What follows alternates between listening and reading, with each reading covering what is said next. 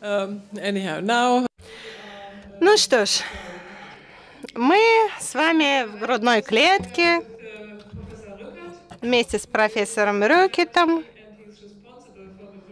Я работала, он отвечает за работу на грудной клетке в нашем отделении. Я работала с разными злокачественными образованиями, мы вместе работали, и я горда тем, что теперь могу представить вам результаты. Давайте начнем с обзора, конечно.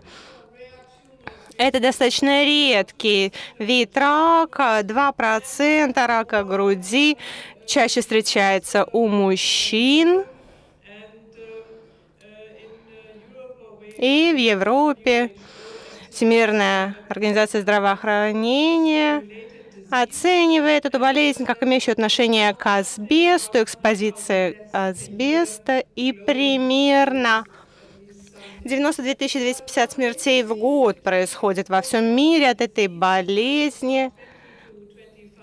Это достаточно латентная болезнь, развивается 20-25 лет.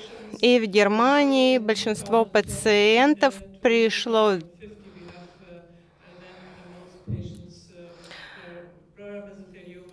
с мезотелиомой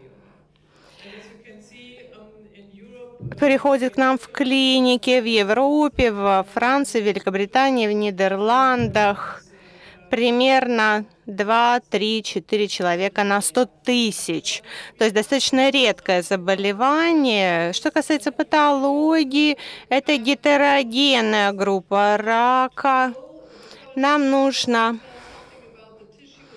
знать об инвазии в ткань, проникновении, поэтому нужно понять, имеет это место быть или нет, а также нам нужно получить информацию о HC, поскольку это требуется для первичной диагностики злокачественного характера мезотелиомы, плевры и Нужно провести эту операцию дважды, маркеры мезотелиальности и на предмет того, может ли это быть аденокарцинома или нет. И в данный момент, ну не в данный момент, а в настоящее время у нас есть три основных подтипа мезотелиомы эпителиальный, бифазный, саркоматойный. Это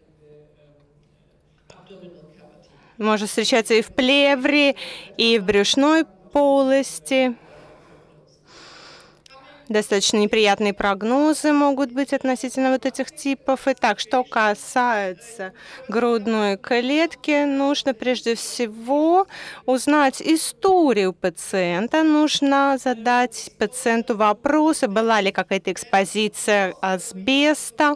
И, конечно, нужно КТ, МРТ э, сделать. Что касается КТ ПЭТ. Сейчас ведутся обсуждения, требуется это или нет. А также нужна тороскопия с видео для того, чтобы сделать биопсию. И я хотела бы подчеркнуть то, что если вы проводите биопсию любого типа и думаете, что это мезотелиома,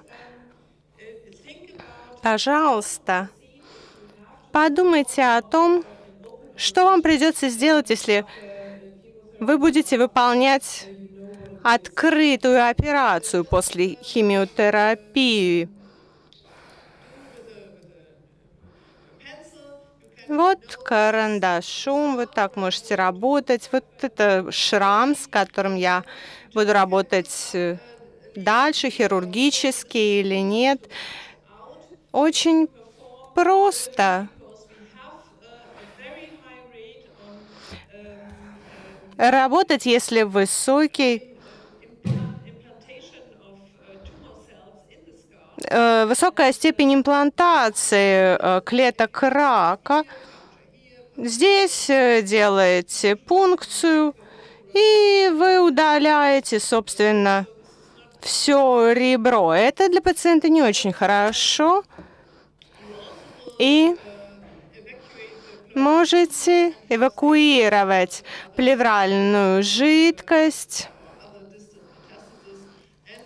какие-то метастазы и, возможно, маркеры будете использовать, но они не очень помогают, потому что они не специфичные, и мы их не используем. Есть система стадирования плевральной мезотелиомы, первичный рак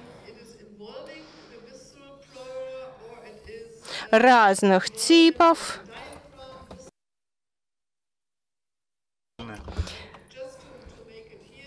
И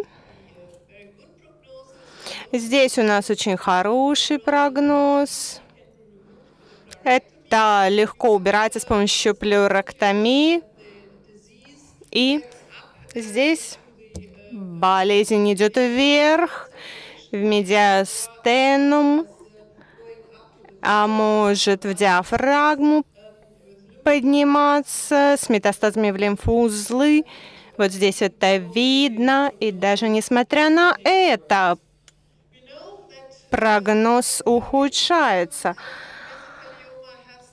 Мезотелиома у этого пациента вот здесь лучший прогноз, э, а с этой стороны худший прогноз. И стадия ТМН, которую я только что продемонстрировала, не имеет такой прогностической ценности. Если вы знаете, что у вас третья стадия, это не демонстрирует вам, не показывает вам эффект. И даже несмотря на это, если вы смотрите на гистологию, вот эти три подтипа, в зависимости от стадии не будет никаких существенных э, различий. Вы просто узнаете гистологический тип и просто думайте о том, какие у вас есть возможности в плане хирургии. И для плевральной мезотелиомы хорошо совмещать эти два метода. Если вы их совмещаете, вы получаете очень хорошую реакцию. Так что вот эта комбинация действительно эффективна с точки зрения результатов, а это уровень выживаемости, он значительно выше, чем без перметрикса и в данный момент комбинация показывает лучшие результаты для плевральной мезотелиомы, комбинация этих методов. И если обобщить, биварсизма, периметрексид используются у этих пациентов и могут показать хорошие результаты. У нас есть и новые методы лечения для злокачественной плевральной мезотелиомы от антиангеногенной терапии, мутации, а, секвенция следующих поколений. У нас есть клинические испытания по этим маршрутам. И есть новые препараты. Но очень хороший эффект показывает иммунотерапия мезотелиомы с помощью PDL-1 антител. Результаты очень хорошие. И, конечно, есть еще направления, которые мы развиваем. Я думаю, это вопрос будущего, но в данный момент нам, конечно, нельзя забывать о хирургии. Это очень важно, чтобы были хирургические операции у этих пациентов. И если вы для пациентов со злокачественной плевральной мезотелиомой, проводите хирургическое вмешательство, результаты гораздо лучше, потому что мы у убираем вот эту нагрузку раковую и нам тем не менее, нужно в каждом случае взвешенно подходить и принимать решения обдуманно. Итак, какова наша стратегия относительно операции, оперативного вмешательства? Здесь есть разные возможности. Экстраплевральная пленоктомия. Здесь мы полностью вырезаем плевру и висцеральную плевру. Вы все убираете, ничего не остается. Но, тем не менее, даже при такой операции А0 не достигается. А может быть расширенная плероктомия или диссекция или только плероктомия в некоторых случаях может выполняться. Вот что у нас сейчас есть в данный момент. Это 20 лет назад примерно такое происходило. Я выполняла ПП, племонектоми и на, пере... на диафрагме. И пациент выжил, и даже жил один год. Перикард. На перикарде и диафрагме, и пациент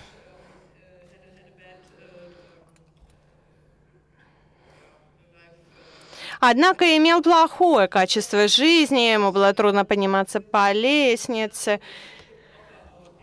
в общем, ничего такого мы, конечно, предложить нашим пациентам не можем хорошего. Расширенный метод также возможен, но опять же А0 не достигается в конце. Вы оставляете легкое внутри, у пациентов есть больше возможностей и лучше качество жизни. Здесь вы просто проводите диссекцию в плевре, а это легкое вы. Также убираете э, плевру, иногда появляется фистула, свищ, но тем не менее он э, исчезает через 5-6 дней. Хотелось бы так думать, конечно, не у всех он исчезает. Есть и осложнения при этих операциях, и даже в литературе описаны эти случаи. Э, осложнения на мозг могут быть, на сердце, аритмия или инфаркт миокарда, эмболия, э, тромбоз вен, кровотечение – а, бронхоплевральный свищ и так далее. И вот результаты. Смертность достаточно высокая. Если вы сравните ее с другими методами, то вы увидите, что смертность увеличивается в два или в три раза по отношению к расширенной плероктомии. И здесь вы видите смертность в послеоперационный период, в основном от сепсиса и э, чрезвычайная ситуация, когда нужно возвращать пациента в операционную если мы сравним расширенную пленэктомию с просто пленэктомией, вот видна статистика, это мультивариантный анализ. В настоящий момент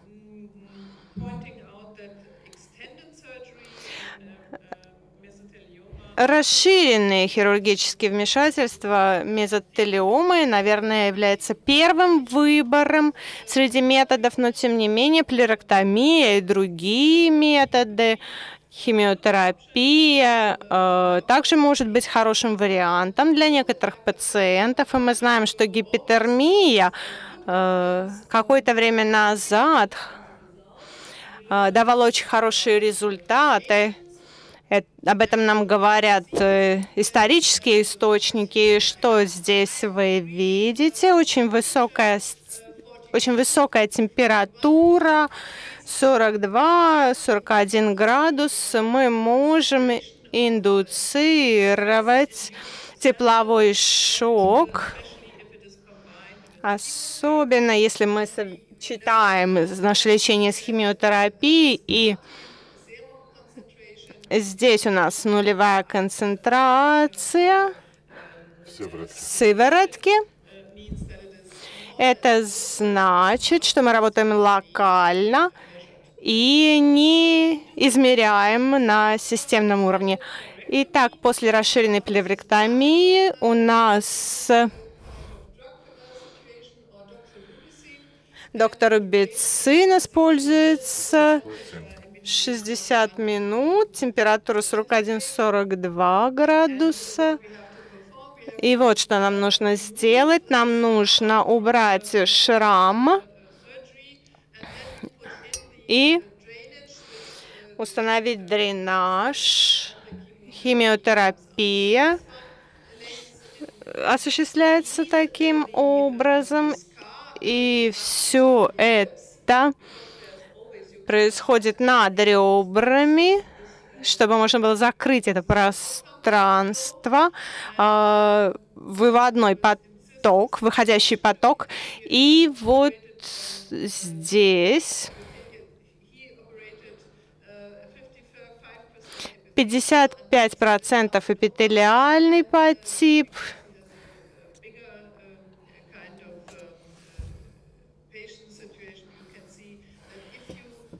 Здесь, если если у вас дополнительно есть хит-хок, э, то результат лучше.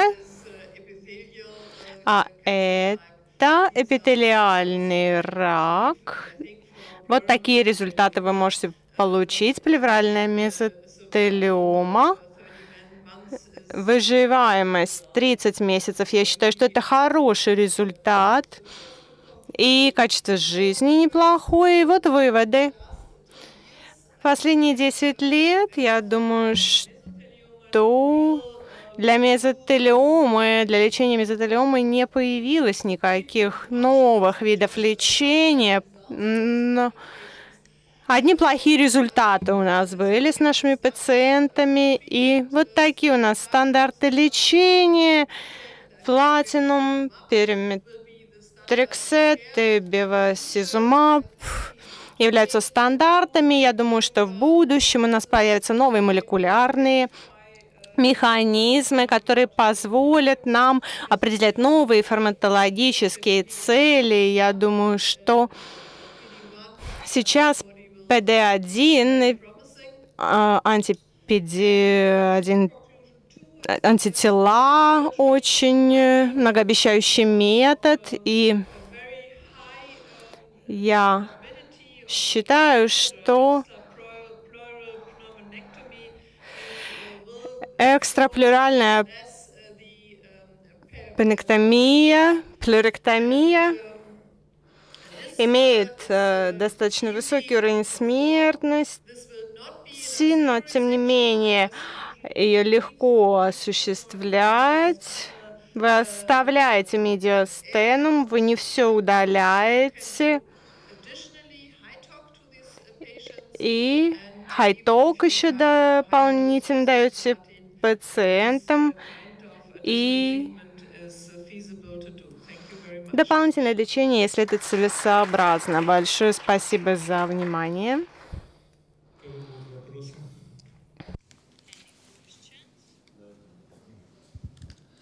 А, спасибо огромное за, за представленную демонстрацию.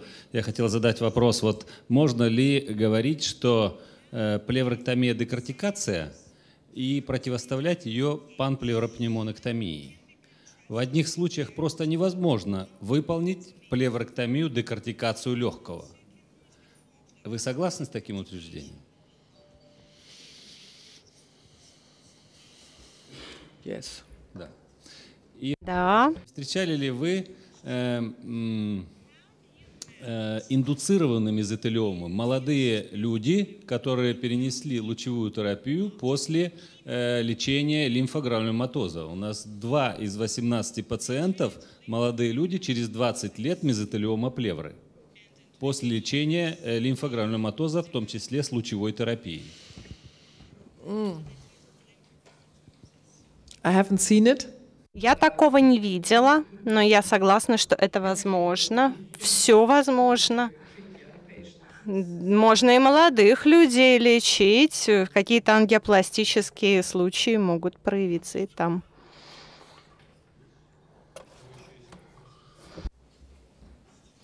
Спасибо. Скажите, пожалуйста, а два доступа, две торакотомии вы не используете в случае вовлечения, э, выраженного вовлечения диафрагмальной, диафрагмы? Два, две торакотомии. Да. Uh, so, uh, in one side. In one side. At two one side, torque- two, yeah. two. yeah, sometimes it's Да, иногда. Да, иногда это требуется, потому что вы знаете, что плевральная полость уходит иногда очень глубоко, и в этой ситуации вам просто нужно удалить опухоль, и это возможно, хотя требует времени, работа идет медленно, но из легкого вы сказали, что это может быть сложно, появляются свищи, иногда нужно взять скальпель, и удалять опухоль. Иногда требуется выполнять разрез или лобоктомию. Но я должна сказать по своему опыту, что расширенная плероктомия, если ее сравнить с паномектомией, экстраплевральной резекцией диафрагмы, это абсолютно разные виды постоперационных ситуаций. Вы можете все вырезать, пациент будет находиться в плохом состоянии, и вот в это послеоперационной ситуации надо будет как-то помогать пациенту, ему будет не так просто выздоравливать. И я думаю, что в этом случае, если вы можете э, медиан у вас 24 месяца или даже побольше, то уже Неплохо. Это из-за того, что изначально состояние пациента было неплохое. Может быть, он, э, его организм хорошо реагирует на лекарства, на химиотерапию.